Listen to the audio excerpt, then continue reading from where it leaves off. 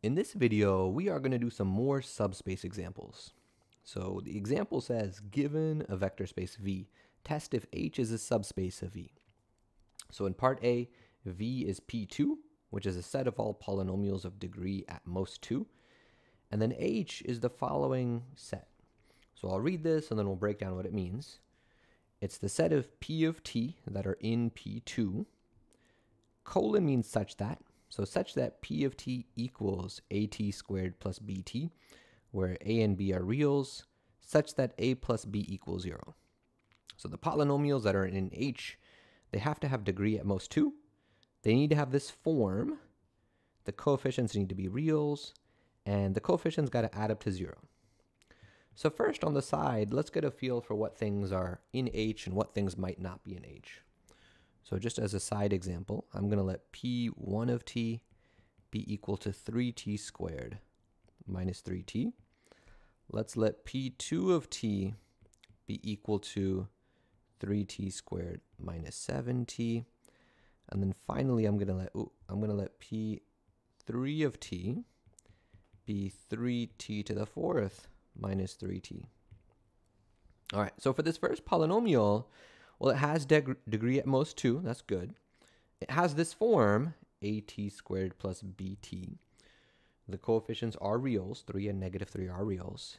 And if I add the coefficients together, if I do 3 added to negative 3, that does equal 0. So this satisfies all the conditions, so it is in H. With that second polynomial, well, it has this form, at squared plus bt. It's got the right degree. Its degree is at most 2. But if I add the coefficients together this time, 3 added to negative 7, well, that does not equal 0. So this polynomial is not going to be an h. And then for this third polynomial, we might notice that, ah, the degree isn't right. Like to be an H, it's got to have degree at most 2, but this one's got a degree of 4. So as a result, it's not an H because its degree, its degree is 4. Okay, so now we have a feel for what types of things are in H and what types of things are not in H. Now let's test, is this going to be a subspace of V? So there's three conditions I have to check to see if something is a subspace. We got to check is 0 in H? Is H closed under addition? And is H closed under scalar multiplication? So for that first condition, since I'm talking about polynomials here rather than vectors, I'm going to be focusing on the zero polynomial, which is just p of t equals 0. So p of t equals 0 for all t. For all t. Okay, and I'm going to ask myself, you know, does that polynomial, is it in H? So first, just to get a visual sense of, well, what does this polynomial look like? If I draw some axes, p of t equals 0 means no matter what number you plug in, the output you get, or the y value we get, is always 0. So this is just going to be a horizontal line on the x-axis. That's my graph of p of t equals 0. So does this have this correct form? Does this look like some number times t squared plus some number times t. And yeah, if you let both of those coefficients be zeros, it does. So both of those coefficients are real numbers. That's good. And then if I add them together, that does equal zero, like I need it to. So this polynomial, the zero polynomial, p of t equals zero, is indeed, it is in H. So I'm going to put a check mark there. So this first condition that I need for something to be a subspace is satisfied. Zero is in H. The zero polynomial is in H. So now I check, is my set closed under addition? Which means if we take two things that are in H and I add them together, will I still get something that's in H? So I start that off by letting, taking two things that are in H, two arbitrary things, and the things that are in H are polynomials. So I'm going to call the first polynomial p of t. So I'm going to say that equals at squared plus b of t. And I'm going to let q of t take some other polynomial be equal to ct squared plus dt. So I'm going to let these polynomials be in H. So one of the big things that that means is when you add their coefficients together, that should be equal to 0. So this means that a plus b equals 0 and that c plus d must be equal to 0. And now I need to check that when I add these two polynomials together, will I still get a polynomial that's in H? So let's add them. So then, if I add them, I'll get P of t plus Q of t. So adding these polynomials, I'm just going to group the like terms together.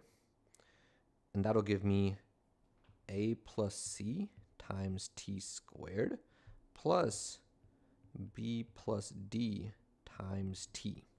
So if I add these polynomials together, I can factor t squared out of two terms. I can factor t out of two terms.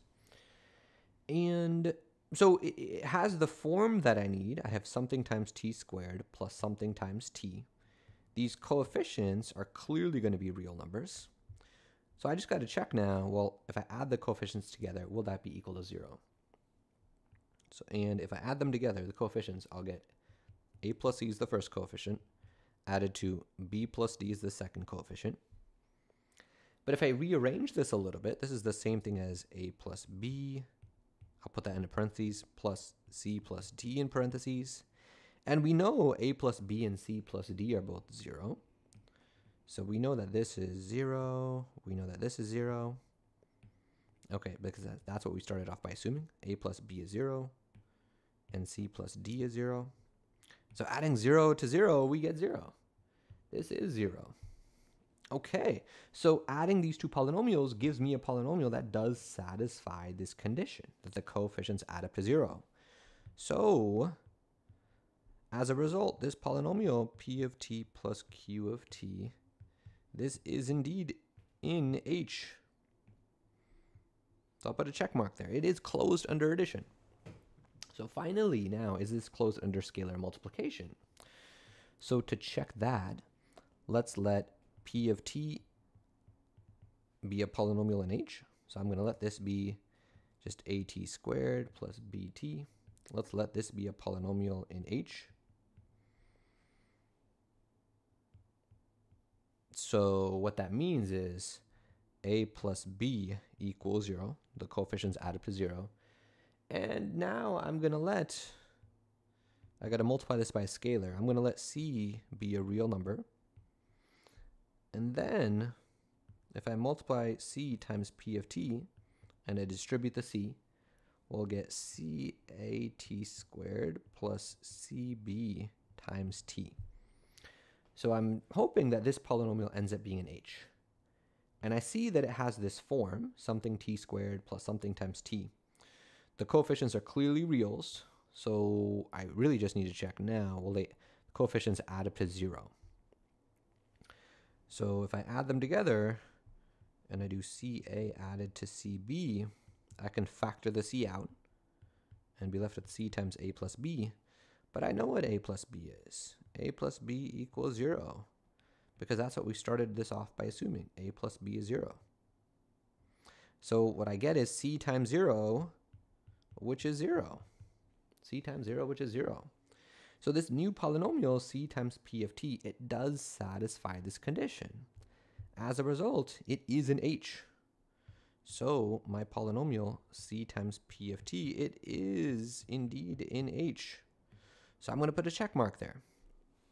So because all three properties hold, therefore this set H is indeed a subspace of P2, since all three properties hold. Okay, all right, let's do another example. So let, let us flip the page here. Okay, so for this next example, again, V is P2, the set of polynomials of degree at most 2. And now my H is slightly different. I have the set of polynomials in P2 such that now P of t has the form at squared plus 2, where uh, there's one typo here. It says a comma b are in are reals, but there's no b in this definition, so I should just cross out the b. I just need a to be a real number. So I want to check, is this a subspace of, of v or not? So first, I want to have you pause the video to try this. So pause it for about two minutes to try this. pause it in four, three, two, one, and try it. All right, so hopefully do that. Hopefully it to try it. Let's talk about it now. So if I check that first condition, let's look at the zero polynomial. So let's consider p of t equal to zero. So this polynomial, and this needs to be true for all values of t, every number I can plug in for t. That's the zero polynomial. So is this polynomial in H? Well, to be in H, my polynomial needs to have this form, something t squared plus 2. In other words, its constant term needs to be 2, but the zero polynomial, its constant term isn't 2, it's 0. So this, this is not, this is not in H, since its constant term is not 2. It's not 2 like I, I need it to be. I need the constant term to be 2. Okay, so because of that, the zero polynomial is not an H. If even one of my subspace properties doesn't hold, it means it's automatically not a subspace. Okay, so that's nice. That means we are done now. Therefore, H is not, it is not a subspace. It is not a subspace of P2, the set of polynomials of degree at most 2. I would encourage you to test out the other properties for practice. It turns out that none of them will hold here. It's not going to be closed under addition. It's also not closed under scalar multiplication. It'd be good practice to check those. Okay, so I want to end this video though with one final quick example. So the question says, is R2 a subspace of R3? So it's really tempting to say yes to this, but it turns out that's not the case. So why is that? Well, if I think about R2, the elements the elements have the form elements have the form, you know, vectors with two entries. So there's going to be a first entry, there's going to be a second entry. And, you know, the elements of R3, they have three entries. There's going to be an X, there's going to be a Y, there's going to be a Z. So the things, you know, the elements of R2, they don't even have the correct number of entries to be within R3. So the things, the elements of R2, they are not, they are not in, they are not in R3 at all. So, so because of that, R2 is not even a subset of R3. So it doesn't make sense to say that it could potentially be a subspace. So no, no, it's not, since the elements of R2 have just two entries. So they are not in R3 at all. They're not in R3 at all. So it couldn't possibly be a subspace. Couldn't be a subspace of R3 because it's not in R3 at all. Okay. I, I want to end by noting one thing, which is if instead I consider the set of vectors that had the form x, y, and then 0, so if I included a third entry, but I just made it 0, where those x and y could be any real numbers, now this would be a subspace this is a subspace of R3. In fact, this is the xy plane within R3. And I'm not going to prove why it's a subspace. I'm going to leave that as an exercise for you to think about. To think about why that is. Why would this be a subspace of R3? Okay, and there we have it.